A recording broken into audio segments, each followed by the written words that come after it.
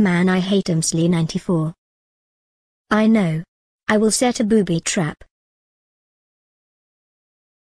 So long Amsalley 94. I'm going to go home and make vids out of Dora Explorers. Oh, did I just step on another booby trap? Hee hee hee. RIP Amsalley 94 1990s to 2013s. Oh no. Not these twarps again. Elias Timeline Raw. I can't believe you killed Amsalley 94. That's it. You broke one of the Ten Commandments. We will call 999. Hello, 999. Elias Timeline Raw killed one of our favorite tubers Amsalley 94. You're arriving in less than 10 minutes? Great. Bye. Elias Timeline Raw, I can believe you killed Amsalley94, one of Ashen Pikachu's favorite YouTubers. You're under arrest and go to court. Come with me, because the cell is right ahead.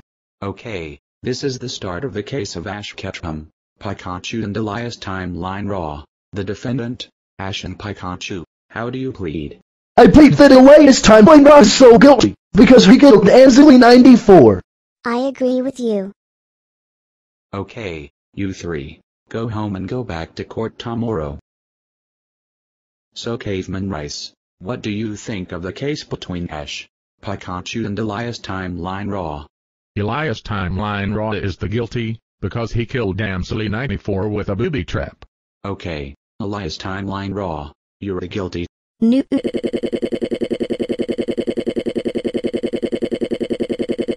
How can this be? You'll be sentenced to capital punishment. Oh god. This bomb will explode in 3, 2, 1, 0.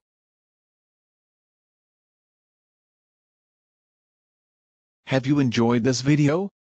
This is not the end of the Elias Timeline Raw series.